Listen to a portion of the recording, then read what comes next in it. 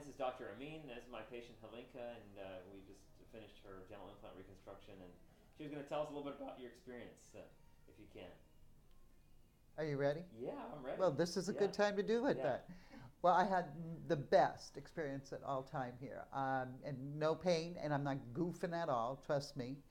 Um, and you can see the results. Absolutely gorgeous. Smile, a big smile. okay, And yeah. You have an upper and lower Prettau. Right? yes, um, and the way we found doctor is my daughter researched him. Had no choice. I picked someone else. She picked him. And guess who we stayed with? Yeah, that's how that works. I know. And it did work. It worked out beautifully. It, I mean, the staff, everyone has been wonderful. And like I said again, look at the results. I've got gorgeous mouth.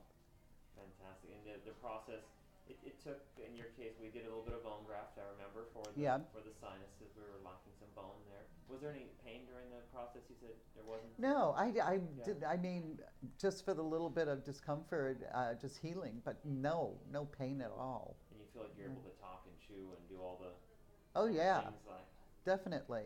Um, I've definitely changed quite a bit. 'Cause I'm smiling while I'm talking, where before I You never are, you did. are. Yes, I'm catching all these You smiles know. here on camera. Yeah, before I never did. I mean, it was just what it was. You know, you, you hide your mouth, you do this, you do that. I don't do that Right. anymore. You do it again? No. Oh, most certainly. I have no regrets. Absolutely none. Fantastic. Thank you so much, Alinka. Thanks for being my patient. I appreciate it. Thanks.